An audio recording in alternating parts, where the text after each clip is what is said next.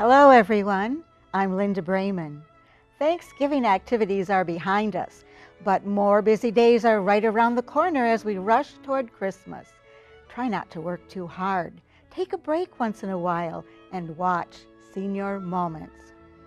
Senior Moments covers events and activities at senior centers in the Ann Arbor Ypsilanti area, such as the Ann Arbor Senior Center, Turner Senior Resource Center, the Pittsfield Senior Center, and the Ann Arbor Community Center.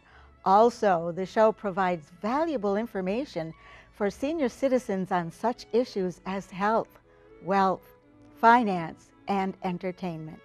The program premieres on the last Sunday of the month with the reruns on Mondays, Wednesdays, and Fridays at 11 a.m. and 5 p.m., Saturdays at 9 a.m., and Sundays at 5 p.m. on CTN Channel 19 for a month. If it's too cold to go outside, snuggle up to Senior Moments with a hot chocolate and a warm blanket.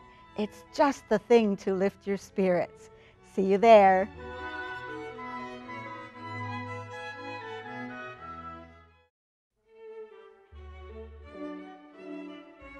Season's greetings to all of you watching today. I'm Linda Brayman, and on Senior Moments we have Laura Raynor from the Ann Arbor District Library. Laura, thank you so much for being here today. I'm delighted. First, I want to say what a great website the library has. Someone did a bang up job on that, whoever was responsible for it. It's just phenomenal. And I want to ask you about the five stars this is the 11th year that yes. Ann Arbor District Library has been awarded five stars. How does one get five stars? Well, it's a, um, a definitely a national process and um, many factors are looked at at the library. Our director, Josie Parker, always thanks all of us because when you think of it as a big library team with all of our branches and the services we offer and the programs we offer across the board age-wise. Um, I think that's why we've turned the library into a true community center and that is why we get those five stars every year. And these stars come from some national library organization? Yes. That's wonderful. American Library Association. Very good. Well, congratulations Thank to everyone.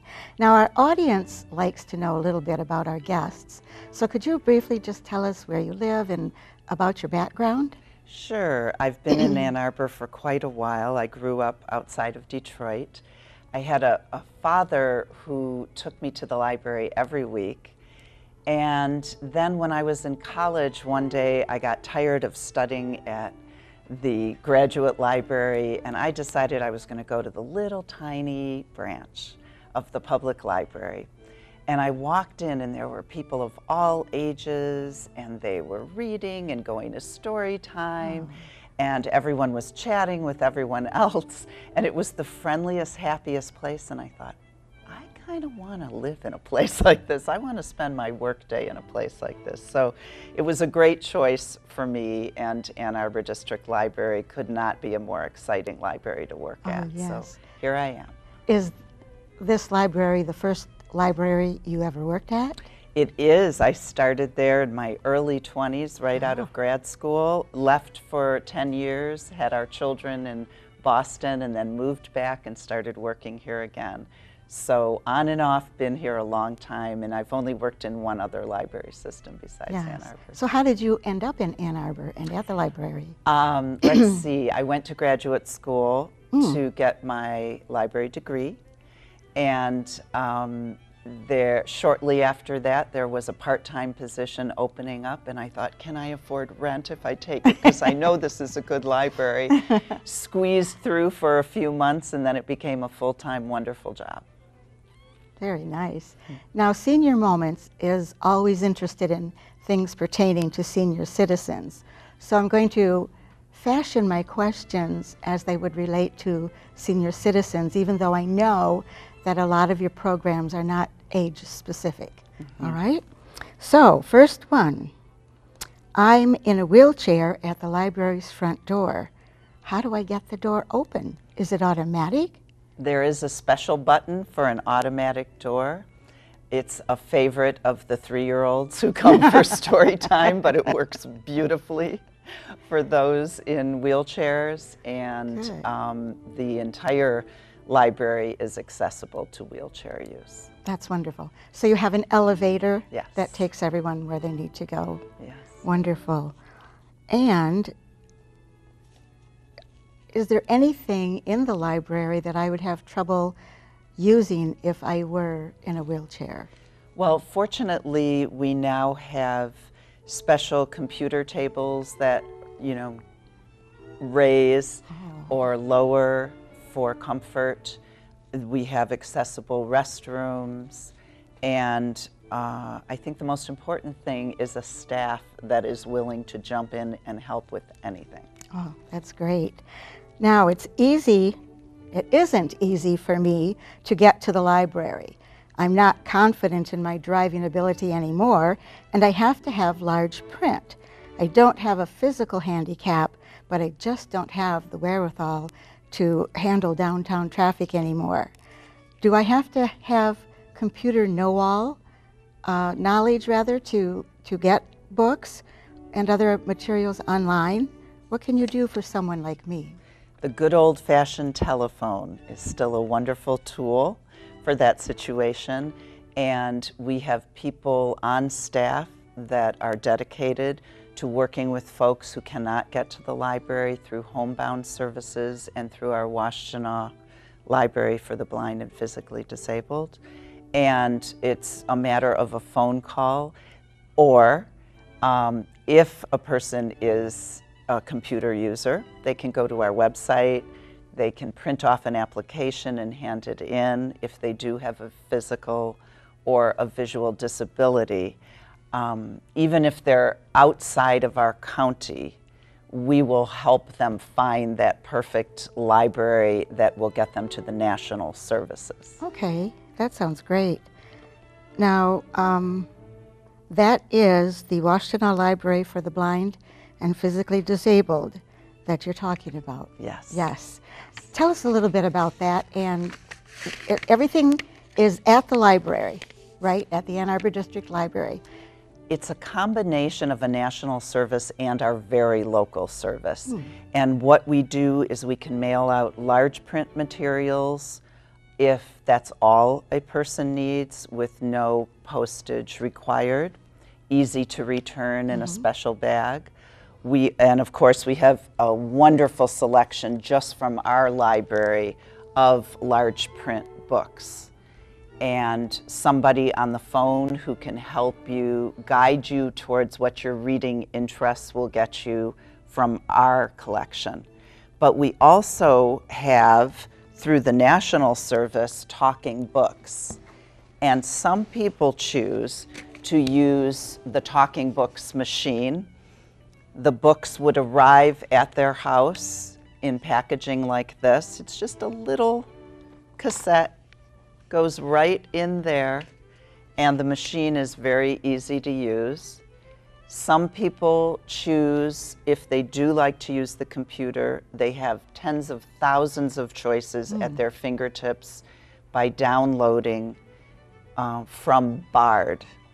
And BARD is the Braille and Audio service that is part of the national service. So there's many ways to get materials, and not only books, but uh, dozens of magazine choices as well. Now, how do you know how to use that? Do you have to have written instructions that come with it? Um, no, it's very easy to use. I'm going to turn it on right now. Player on. Press any button to learn about its function. You will see that there's Braille next to each button. But what's nice, just like he said, is you press Volume a down. button. To decrease the volume by one step, press the volume down button. There are 15 volume steps. You cannot turn the volume off completely. So it directs you comfortably to where you want to go if you want to listen for 15 minutes before you go to sleep, which is a very restful way. you can use the sleep mode. Uh, so there's, lo- and that's the little moon right in the middle. So there's lots of simple yes. choices here. So you don't, ha- there's not a great learning curve No. for using this. It's And you do mail that to them also.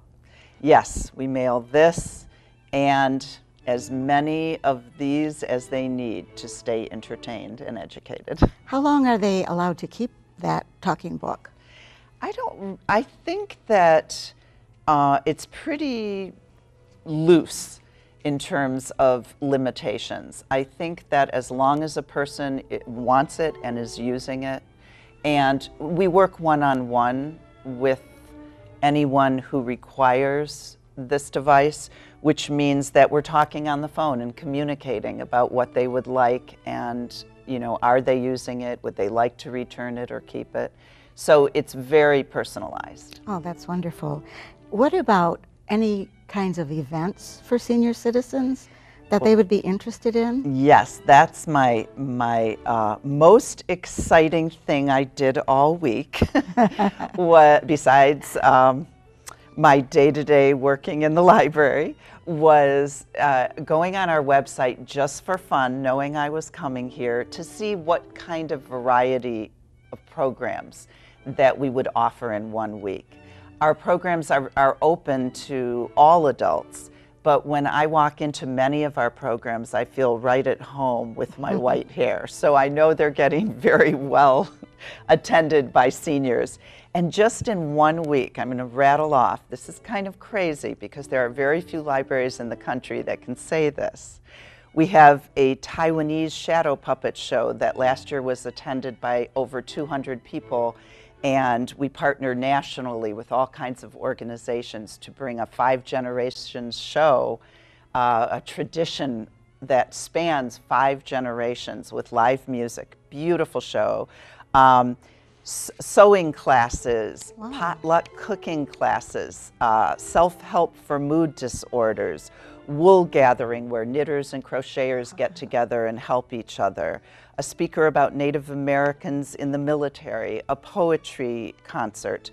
Uh, learning how to use letterpress, learning how to cook soups and chilies, a Becoming American series, Nerd Night, which takes place at the bar on a regular basis throughout the year. Something new that I'm excited about is called Creative Break, and the idea is that seniors and any other adults who have time during the middle of the day can come in and do just very casual craft programs in something we call our secret lab. and all kinds of concerts and paper quilling and drawing for adults. So, in that one week I checked out, that's just an example. Um, these are going on all year long, these types of programs. So, you want to check our website every week and write down what you're interested in. Yes, wow, that sounds great. I like the concept of it being a community center and not just a library. And it sounds like you have a lot of great things for senior citizens and for just about anybody. Yes. Now, what if I want to volunteer? Ah, well, I'm happy to say that a couple of years ago we we hired our first ever volunteer coordinator, and that's been pretty wonderful because Shoshana, our coordinator, is able to match volunteers with what they're interested in doing. Are they interested in working with children? Are they only interested in working behind the scenes with prepping for all these craft programs I mentioned? So you can really gear it towards what you want to do, and it's been a very successful program. That is great. Now, is there anything else I should know about that that we should tell actually the senior citizens watching about the library? We know it has great programs, great people. Mm-hmm. It's very accessible, and I think I think I, I think I need to see you all out there. Sounds like a great place, and you all need to go. And I want to thank you so much for coming and sharing your time with us. Thank you so much for having me.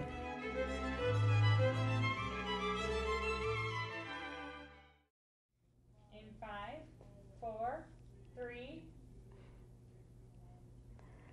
Thank you for joining us on Senior Moments. I hope you enjoyed the show. I'm Linda Brayman. Happy holidays.